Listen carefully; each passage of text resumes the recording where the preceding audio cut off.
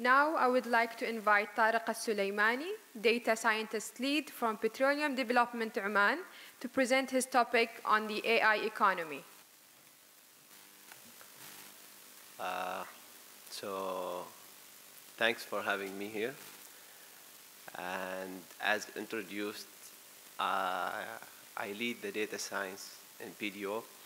And while we are developing the AI of tomorrow, I have been always curious on how AI is going to impact us as individuals, as team, as organizations, as society, and as a nation by itself. Which brings me to today's topic, the AI economy.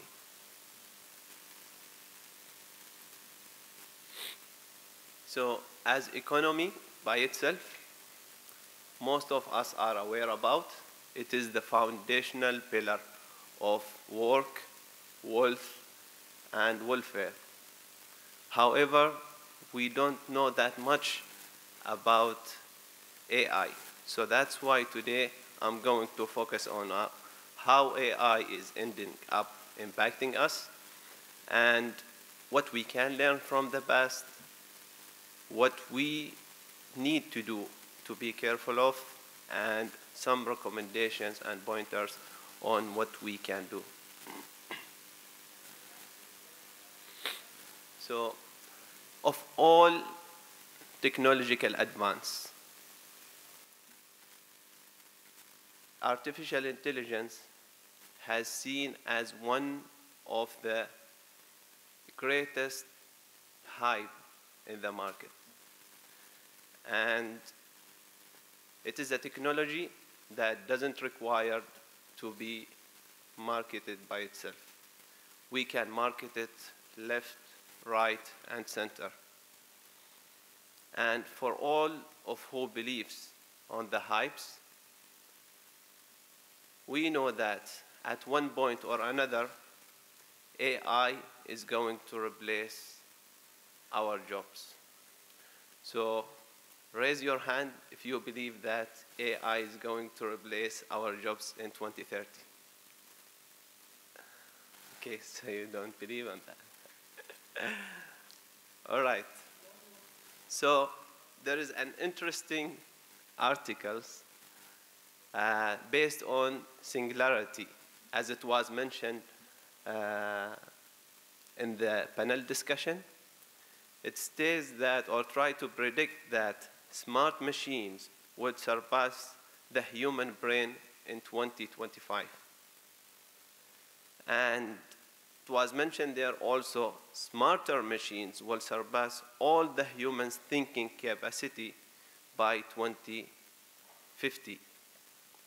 So isn't that amazing that the computational power that we have is it has the capability of having the human thinking capacity. It is amazing, but it is also scary. So there is another survey that was conducted by Chapman University in 2015. And the result was people were way more afraid of losing their jobs to robots than they were actually afraid of dying. Interesting. So, to learn from the past, or as an economy, from the economy, we know that to learn, to predict the future, we need to learn from the past. And let's do this small exercise to understand how we can learn from the past or what the past taught us so we can understand the impact of AI to our economy in the future. We know that there have been three industrial revolutions in the past and we are now currently in the fourth one. So let's know more about all the three and what they are all about. So let's start with the first industrial revolution, which was the steam engine. It was a good enabler for our society and civilization. It's an amazing that it's enabled us to move from point A to point B faster. We are no longer needed anymore. We can carry tons instead of kilograms.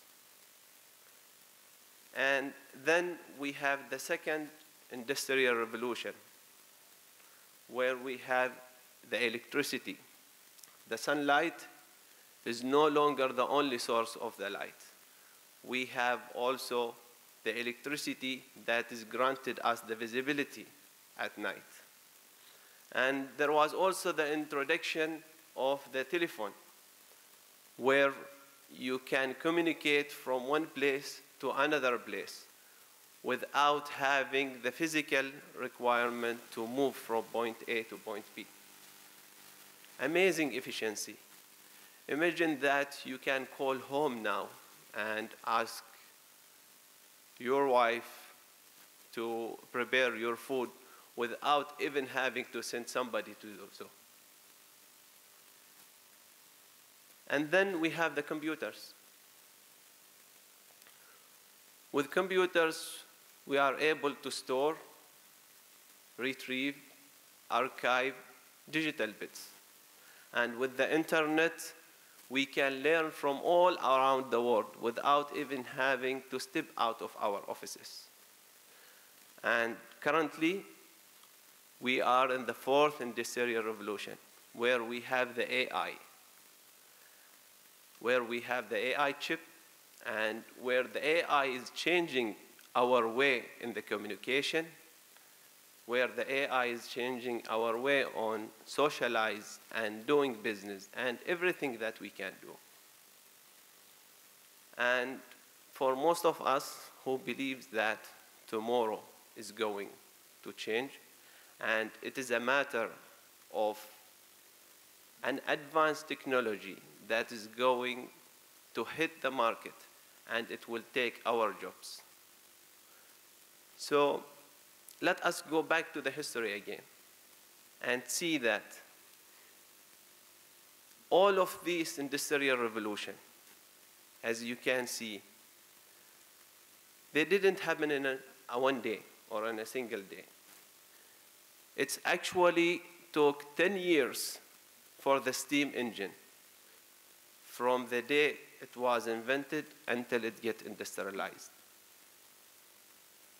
The electricity that we have it everywhere in our home, it is actually started from the lab. And computers, believe it or not, the device that in your pocket right now is more powerful than the computer took the humanity to the moon. And for the AI, it is exactly the same. It is us how we craft it, and it is us how we can adapt with it. So, for Oman, or as Omani, we don't have to reinvent all the Industrial Revolution. The most important thing is how we can get the best out of it, how we can utilize it to make us ahead in economy, in wealth, and in industry. And let's also admit that the Industrial Revolution passed us. So for the fourth industrial revolution, it is going to be exactly the same as we had seen. So if there is a lesson that we have to take, we should know that AI is a process. AI is not a dramatic event. It is going to happen and let us not just wait for Tesla to bring their robot and we don't have jobs. It is us, how we adapt it. It is the adaptation actually and the industrialization is going to take decade, decades in such technology. So it is us on how we adapt and how we get the best out of it.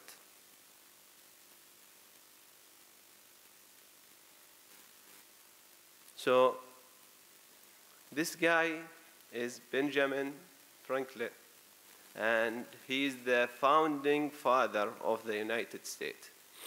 This guy said an interesting thing that I see a future that we are moving towards that we only are required to work four hours a week.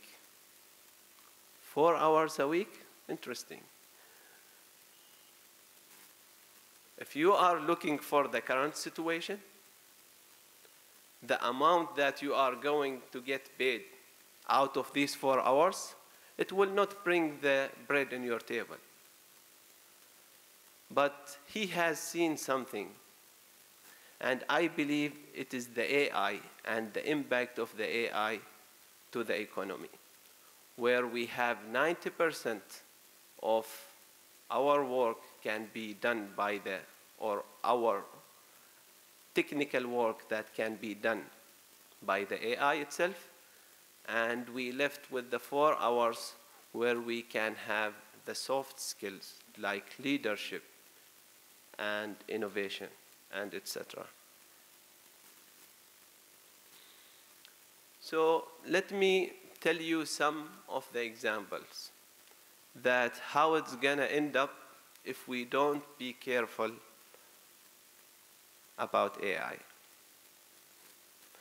And before that, let me explain to you the GDP per capita, which is a very important equation that is affect the economy itself. So GDP per capita, if most of you are aware about, it is the country GDP divided by the total population or by its population. And if you can see here, the total population is a very important variable that we have in this equation. The change on that variable either can take us to a sustainable AI economy or it can take us to the edge of the disaster. And as most of us are aware, recently Canada is opening the borders for hundreds of thousands of immigrants. And why is that? To fill the gaps left by its aging workforce. And this is actually remind me about what happened in 2000 in China. In China in 2000, when the global removed all the restriction, China get introduced to the world. And China came with a very special talent called cheap labor. And after a few years from there, in 2008, economic crisis. And why is that? Because the amount or the amount that they get paid, they used to get paid, and the spending power and the generation, the worth generation, actually suddenly get changed with a single variable that is cheaper than what they used to put on the table. And ladies and gentlemen, this is if we are not going to watch it very carefully, then we will allow AI and robots to become similar to a cheap labor. And because of that, we need to be careful and I will leave you with some of the pointers that we need to focus on.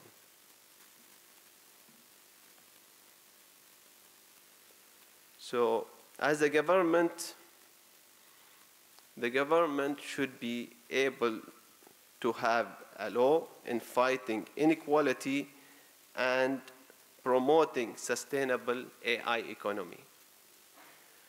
So the introduction of AI shouldn't be individual. The government should have hands on it. And